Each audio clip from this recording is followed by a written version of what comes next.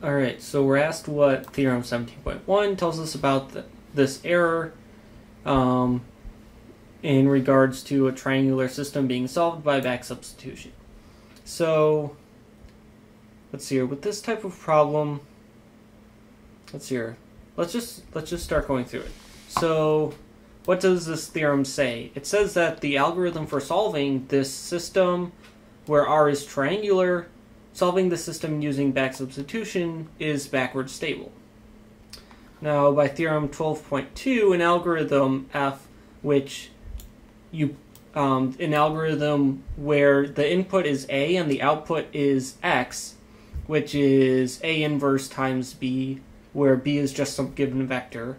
So basically what this function does is you plug in A and it solves AX equals B. This function has a condition number kappa of A, which is given by norm of A times the norm of A inverse for whatever norm that you're using. Um, then by theorem 15.1, a backward stable algorithm, F, with input at x and output y, with condition number kappa of x, satisfies this equation. Um, yeah, this norm here is big O of kappa of x times machine epsilon. And we basically just tie all these theorems together and we get this result.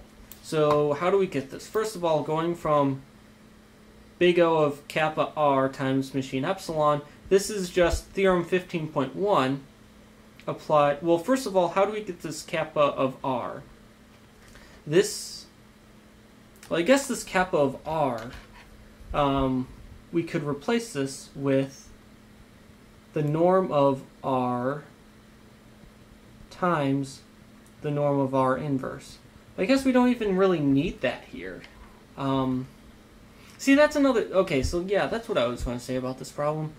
It says, what does theorem 7.1 apply about, imply about the error of, uh, of this norm? That doesn't really tell us like what we're supposed to be looking for.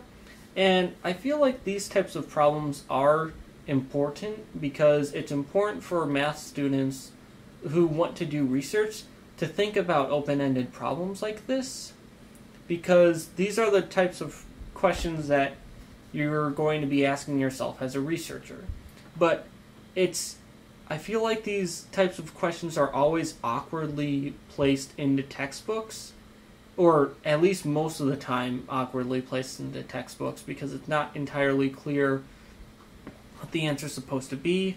And the main issue is that like these are problems that we have to do for homework assignments. So I want to make sure that I'm answering the question the way that's supposed to be answered. And this problem statement gives me no indication of whether or not I'm doing that. If a question asks me to prove or disprove something, then I know when I've completed the the question and I can move on to the next problem. And those types of questions can help you improve your math skills and can help you be a better researcher. Um, so yeah, I'm not a huge fan of these types of problems, but they're out there and they exist. But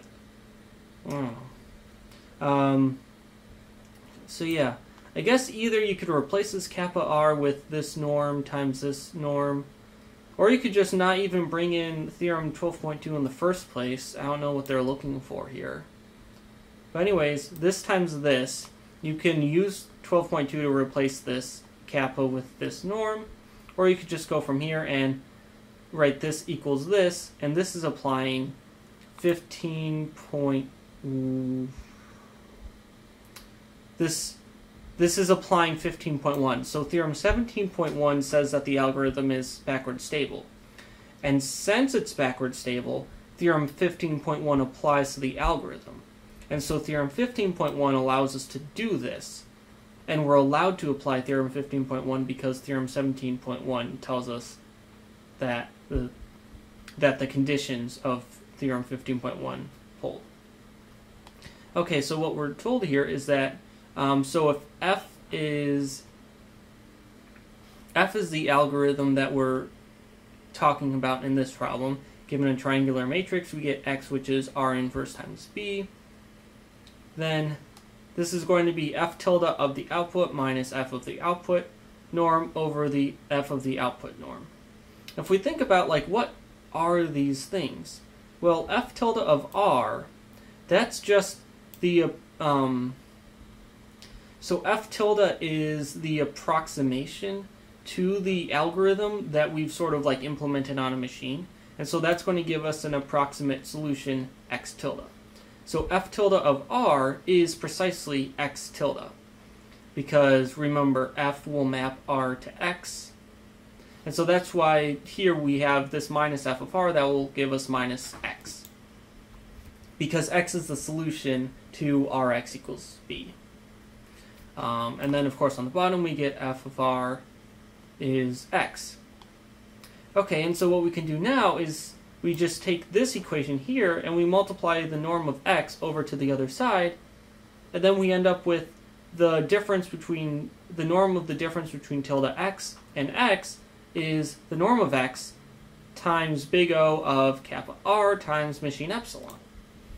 And I'm pretty sure that's what we wanted to know because this gives us an idea of um, the growth of the norm of the difference between these two. But anyways, we've given an answer to the question, and I think this is what they were asking for, and so we are now done with the exercise.